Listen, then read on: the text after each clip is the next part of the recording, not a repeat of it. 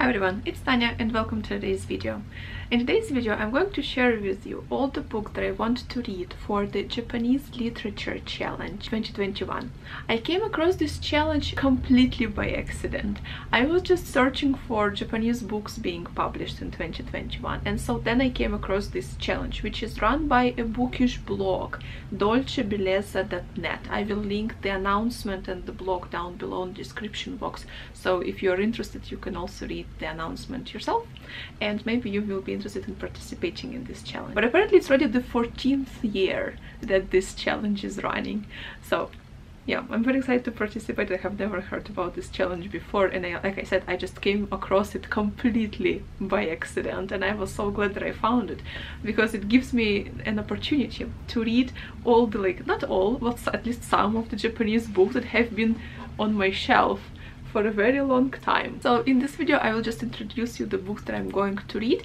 The challenge runs from January, so it's already running, so from January till March so I still have two months and I have 10 books here so it's like five books for each month so I think it's doable. I think it's doable. Five books for February, five books for March. And I think I can I can uh, combine them with my February and March TBRs. The first book has been on my TBR for a very long time. I got it quite I got it long time ago. The Waiting Years by Fumiko Enchi. It is set in the late 19th century. We will be following a wife of a high Japanese official. She is a faithful wife and she loves her husband. However, he ha she has a very interesting task to perform in this book. She is sent to Tokyo where among hundreds of geishas she is supposed to choose a lover for her husband. Externally calm, but torn apart on the inside, Tomo, the main protagonist, starts searching for an official mistress. What a situation! What a situation! I feel I think I will start with it. I will start with it. I will start my February with this book. Then I have a collection of short stories. I actually found this very interesting series. So this is the Book of Tokyo, but it has a lot of books about different cities. Like there is the Book of Dubai, the Book of Paris, the Book of something else. And these are like collections of short stories by authors coming from these towns from these cities and writing about these cities. So i have a book of tokyo. And yeah it's a short story collection. Stories must be something strange and weird but i'm very excited to explore. And then i have uh, actually these two covers are very similar. I before when i was kind of looking at these books i mixed this book to these two books together. Covers are very similar i feel like just like the landscape of tokyo. So the the third book that i have is the last children of tokyo by yoko tawada. Yoko tawada from what i know she is a japanese german writer. We follow main protagonist yoshiro. Yoshiro, he is a very old man. He's he's like 100 years old, so he is probably one of the oldest citizens of Tokyo. And he remembers the town before it was poisoned, before the air was poisoned and water was poisoned. So he remembers those days. However, he also has a grandson who is very sickly and the old man understands that his grandson probably will not be able to survive even his adulthood in this poisoned city and he tries to find different ways to keep his grandson alive. So it's going to be something like a family story i guess. And the commentaries on the back sound very interesting. The last children of tokyo is both unsettling and enchanting gentle and sharp-edged. Tawada writes beautifully about unbearable things. Then another one Yoko Tawada's The Last Children of Tokyo carries us beyond the limits of what it is to be human in order to remind us of what we must hold dearest to our conflicted in our conflicted world, our humanity. I haven't read anything by her. I have one more book by Yoko Tawada actually, like Memories of Polar Bear, something like that, or Memoirs of Polar Bear, something like that. But I decided to start with uh, Last Children of Tokyo because it just sounds so, so, so good. And then I have two books by Yasunari Kawabata, which I'm very excited about, like both of them. Last year I read his Snow Country, enjoyed it a lot. I cannot say that like I understood it completely, the re relationship between people were a little bit like over my head. I didn't understand the relationship there.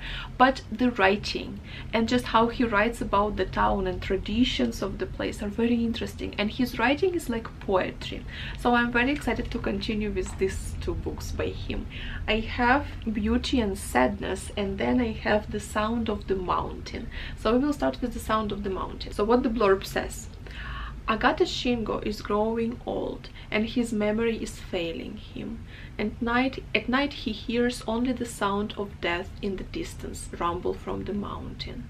The relationships which have previously defined his life with his son, his wife and his attractive daughter-in-law are dissolving and Shingo is caught between love and destruction.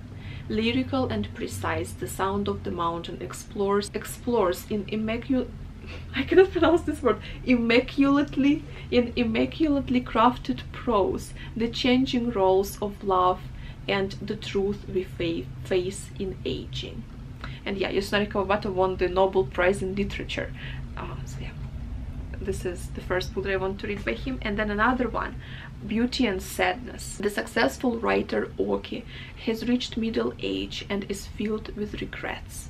He returns to Kyoto to find Otoko, a young woman with whom he had a terrible love affair many years before, and uh, discovers that she is now a painter living with a younger woman as her lover. Otoko has continued to love Oki and has never forgotten him, but his return unsettles not only her but also her young lover. This is a work of strange beauty with a tender touch of nostalgia and a heartbreaking sensitivity to those things lost forever. So it's going to be a novel about relationships. And I, and I love such things. Like relationship people, their inner worlds are always very interesting. And yeah uh, his prose like his writing is very beautiful. So i'm super super excited to read um, Yasunari Kawabata. And then I have two books by Natsume Soseki because Natsume, I feel like Natsume Soseki is one of Japan's beloved authors because I've heard from quite a few people, Japanese people, saying that like Natsume Soseki is their favorite writer.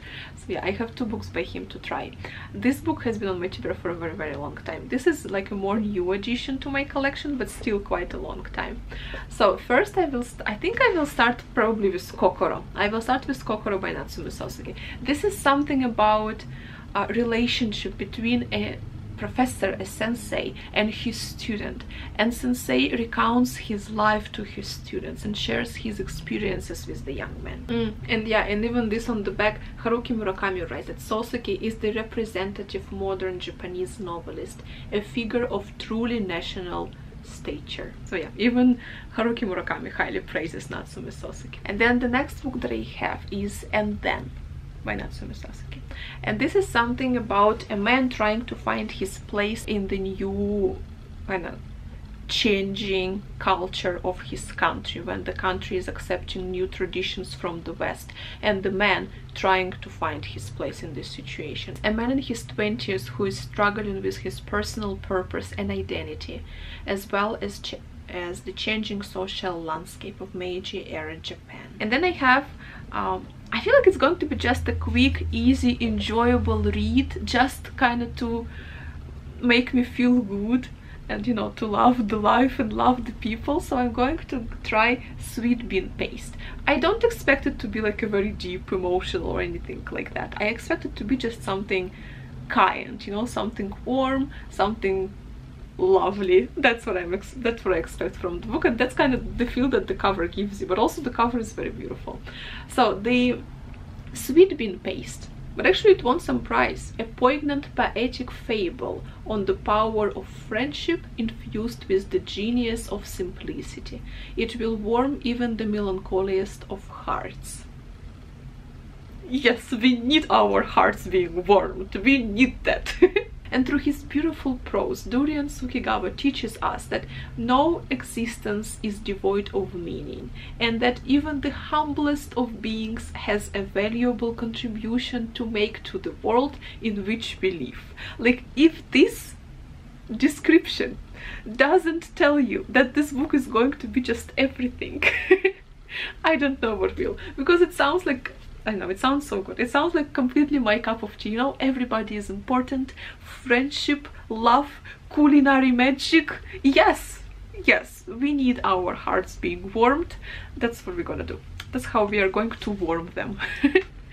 and then I have a second book by Yuko Tsushima. I read her uh, the territory of light and now i have child of fortune. She writes uh, both of these books are about single mothers and single mothers experiences in japan. The first book she was she has just um, separated from her husband and she has just started living alone with her three-year-old daughter. And like all the guilt that she is experiencing all the pressure from the society that she is experiencing and how she's dealing with it which is like not very healthy and like in not very good way but she doesn't really have any uh, like any option. And now this is going to be i expect it to be something similar. It's also about a single mother who is um, raising her child 11 year old daughter alone in her apartment. And now after a casual affair she is unexpectedly pregnant again.